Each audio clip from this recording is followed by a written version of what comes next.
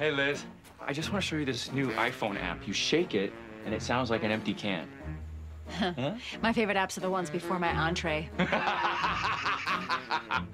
my god, that's the funniest thing I've ever heard. So what are you up to right now?